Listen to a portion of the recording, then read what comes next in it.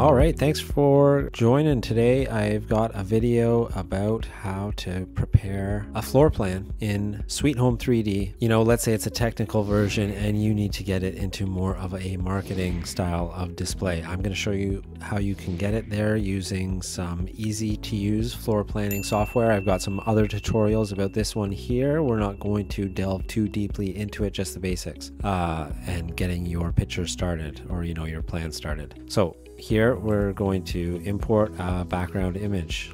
Now, when you have access to a background image, the work of an architect is protected under copyright, like a photograph is, you know, in my case, as a photographer or someone who creates video, etc.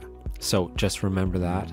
In my case, I'm going to use a background image that I created anyways. Gonna load that up. All right, I've got it there. We're going to continue on to the next step. Now we need to scale appropriately this blue line to a line of a known length within our picture. As you can see, it's always good to work from the highest resolution you can access for things like this, getting that dimension line right on target if you possibly can. And then up here, you can also do this in meters. I am in Canada, but we do a lot of real estate in feet.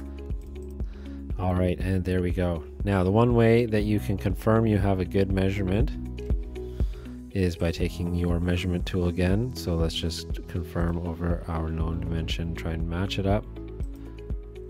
There we go. Uh, so you know we can we can match that up. That's the one that we used to calibrate. But how about this one? Let's get this too. Okay, we're going for 36.4, right? Let's see. Perfect exactly what you want to see. And I like to do a, an X and a Y so that I can make sure it's scaled properly on both axes. And from there, you know, you just go ahead and finish it off however, however you need to. We're not going to walk through that whole process. And you know, this could also be useful to, let's say you are doing 3D or color floor plans. That pipeline integrates well here.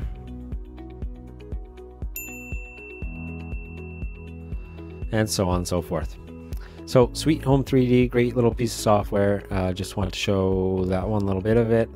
Lots more to do. You can have a look at my other video. Thanks for watching. Take care.